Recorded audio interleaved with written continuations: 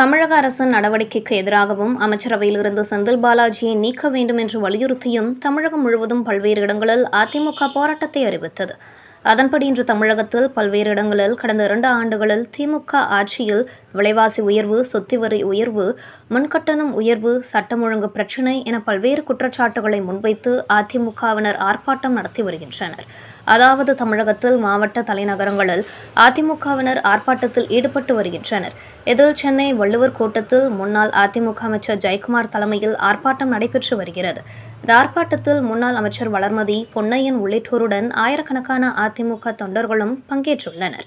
அப்போது பேசிய அதிமுக முன்னாள் அமைச்சர் ஜெயக்குமார் ஊழலுக்காக மீண்டும் கலைக்கப்படும் ஆட்சியாக திமுக இருக்கும். அரசு ஊழியர்கள் முதல் ஆசிரியர்கள் வரை இன்று வீதியில் இறங்கி போராடி வருகின்றனர். திமுக ஆட்சி பொறுப்பேற்ற பிறகு சட்டம் ஒழுங்கு பிரச்சினை விலைவாசி உயர்வு உள்ளிட்ட பிரச்சினைகளை ஏற்பட்டுள்ளது. ஊழலில் பிறந்து ஊழலில் வளர்ந்து ஊழலில் வாழ்ந்து கொண்டிருக்கிறது திமுக. தமிழக ஆளுநர் சில நாட்களில் டெல்லி செல்ல உள்ளதாக தகவல் உள்ளது.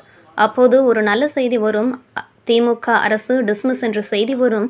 தமிழ்நாட்டுக்கே அன்றைக்கு தான் தீபாவளி. கடந்த இரண்டு ஆண்டுகளில் கொலை கொள்ளை கடத்தல் கட்ட பஞ்சாயத்து உள்ளிட்டவைகள் அரங்கேறி வருகிறது. எனவே ஊழலுக்காக கலைக்கப்பட உள்ள ஆட்சியாக திமுக ஆட்சி இருக்கும். அதிமுக ஆட்சியில் அம்மா கொண்டு வந்த திட்டங்களுக்கு லேபிள் ஒட்டும் வேலையை தான் திமுக செய்து வருகிறது. புதிய திட்டங்கள் ஒன்றுமில்லை. முப்பதாயிரம் ரூபாய் கோடி ஊழலை மத்திய அரசு தோண்ட ஆரம்பித்துள்ளது. செந்தில் பாலாஜி வாயை திறந்தால் பலர் சிறைக்கு செல்வார்கள் என்றுதான் முதலமைச்சர் ஸ்டாலின் பயந்து கொண்டு இருக்கிறார். இந்த மாதம் திமுகவுக்கு சிறைக்கு போற வாரமாக தான் உள்ளது. அடுத்த அமைச்சர்கள் Ponmudi K K SSR Ramachandran உள்ளிட்டோர் சிறைக்கு போகப் போகிறார்கள். இதில் செந்தில் பாலாஜியும் வாயை திறந்தால் பலர் செல்வார்கள் எனவும் ஜெயக்குமார் தெரிவித்தார்.